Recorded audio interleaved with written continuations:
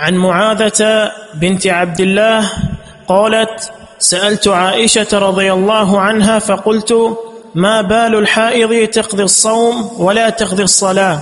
فقالت أحرورية أنت؟ فقلت لست بحرورية ولكني أسأل. فقالت كان يصيبنا ذلك فنؤمر بقضاء الصوم ولا نؤمر بقضاء الصلاة. اس حدیث کا موضوع یہ ہے کہ حائدہ خاتون نماز اور روزے ترک کر دے گی، لیکن روزے کی قضا ہے اور نماز کی قضا نہیں ہے۔ اس کی راویہ معاذہ بنت عبداللہ ہے، جو کہ تابعی تھی اور بڑی جلیل القدر تابعیہ تھیں اور اور سکھا راویہ تھیں ام المومنین کی ایک شاگرد تھی ایک ملازمہ شاگرد تھی۔ اور ان کا ایک تمیز یہ بھی ہے کہ یہ بڑی عبادت گزار تھی اور یہ سوال بھی ان کا اسی عبادت کا مظہر ہے۔ سالت عائشہ رضی اللہ تعالی عنہ، انہوں نے سید عائشہ صدیقہ رضی اللہ عنہ سے سوال کیا۔ قال سال تو عائشہ تھا فرماتے کہ میں نے سوال کیا عائشہ صدیقہ رضی اللہ عنہ سے۔ فقل تو میں نے عرض کیا کہ ماں بال الحائد تقد سوم بلا تقد صلاح حائض یعنی حائدہ خاتون کی کیا حالت ہے؟ کہ وہ روزہ قضا کرتی ہے اور نماز قضا نہیں کرتی۔ ایسا کیوں ہے؟ فقالت حروریت الانت۔ ام المومن نے فرمایا، کیا تم حروریہ ہو؟ کیا تم حروریہ ہو؟ حروریہ کیا ہے؟ یہ نسبت ہے ایک علاقے کی طرف۔ جس کا نام ہے حرورا۔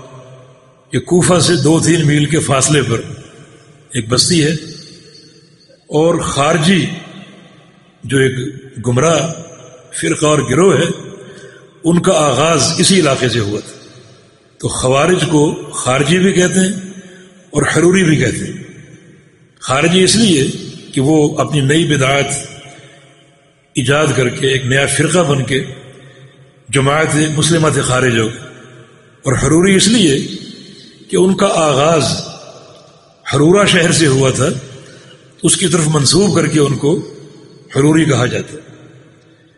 اور خارجیوں کا عقیدہ یہ ہے کہ حائدہ خاتون نماز بھی قدا کرے گی، روزے بھی قدا کرے گی۔ یعنی بحالت ہے روزے نہیں رکھے گی، نماز نہیں پڑھے گی، لیکن جب پاک ہو جائے گی تو نماز کی بھی قضا ہے اور روزے کی بھی قضا ہے۔ ام المومن نے پوچھا، تم حروریہ ہو؟ دیکھیں کتنی تشویش ہے۔ سرف صالحین کو اس بات کی بڑی تشویش ہوا کرتی تھی کہ کوئی کسی بدعت میں مبتلا نہ ہو جائے اور کوئی شخص کسی بدعتی ٹولے میں شامل نہ ہو جائے۔ ان کے اس سوال پر یہ عقیدہ تو خارج کا ہے۔ کیا تم خارجی ہو؟ تشویش ہو اور اس تشویش کے تحت یہ سوال کیا اور یہ ہونی چاہیے۔ کیوں؟ اس لیے کہ دین اسلام میں بدعت، یہ بدعتی فرقہ سب سے بدترین چیز نہ بدعت سے تعلق ہونا چاہیے اور نہ کسی بدعتی انسان سے اور نہ کسی بدعتی گروہ سے۔ ابو خلابہ کا قول ہے کہ اگر تم کسی بدعتی انسان کے ساتھ بیٹھو گے بھی تو ہو سکتا ہے اس کی بدعت تمہارے اندر سرایت کر جائے۔ وہ کہتے ہیں کہ بدعتی انسان جو ہیں، وہ آتے ہی اپنی بدعت نہیں کھولتے، بلکہ سو باتیں اچھی کریں گے اور آپ کو پورے اعتماد میں لیں گے۔ جب پورے اعتماد میں آپ آ جائیں گے، تو پھر وہ اپنی بدعت آپ پر کھولیں گے اور آپ ان سو باتوں کے اعتماد کی بنا پر اسے قبول کر لیں گے۔ اور ذلو فضلو وہ گمراہ خود ہو چکے ہیں اور آپ کو بھی گمراہ کر کے چھوڑ دیں۔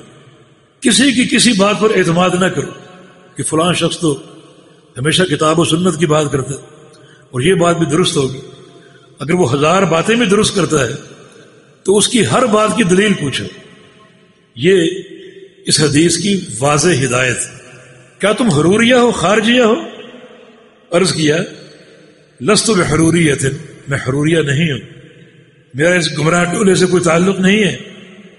بلا کنی اصل لیکن میں ایک سوال کر رہی ایک سوال میرے ذہن میں آیا ہے۔ فقالت، کان یوسیب ہونا ذالی کا فن عمر و بقضاء الصوم ولا نؤمر بقضاء الصلاة۔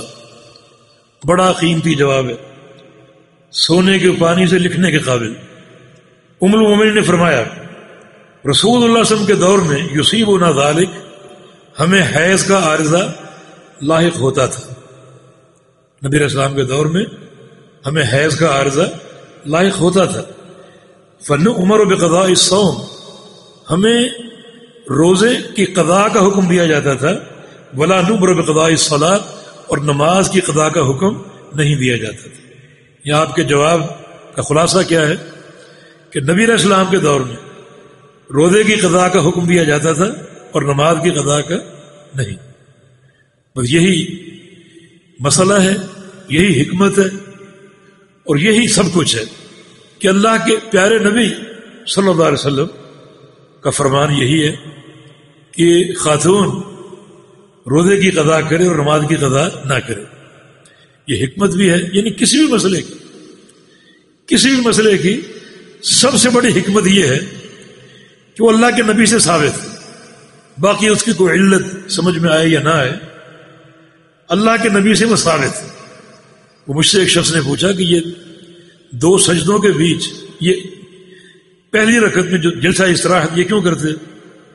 پہلی رکعت میں تھوڑا سا بیٹھ کر اٹھنا ہوتا ہے۔ کیوں کرتے ہوئی؟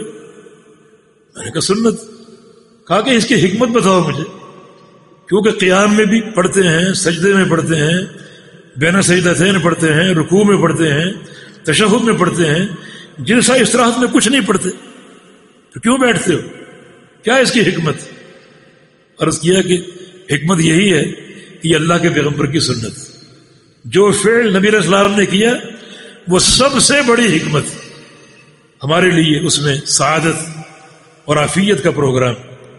ام المومنین نے بھی یہی تربیت کی کہ رسول اللہ علیہ وسلم کے دور میں یہی حکم تھا۔ بس، یہ حکمت اور یہ سب کچھ۔ یہ نہیں بتایا کہ کیا حکمت روزے کی قضا کیوں ہے اور نماز کی کیوں نہیں؟ جیسے علماء نے اپنے طور پر یہ ایک قول اختیار کیا ہے کہ چونکہ روزے سال میں ایک بار آتے ہیں، ان کی قضا آسان ہے۔ چھ سات روزے رکھنا آسان ہے۔ لیکن حیض کا عرض ہر مہینے ہے اور نماز دن میں پانچ دفعہ، تو نمازیں بہت زیادہ بن جاتی ہیں۔ ان کی قضا خاتون کے لیے مشکل ہو سکتی۔ یہ حکمت شریعت نے بیان نہیں کی۔ علماء کا ایک فہم ہے۔ ہو سکتا ہے یہ ہو، لیکن اصل بات یہی ہے کہ رسول اللہ علیہ وسلم کے دور میں کیا تھا اور آپ کا فرمان کیا تھا۔ جی۔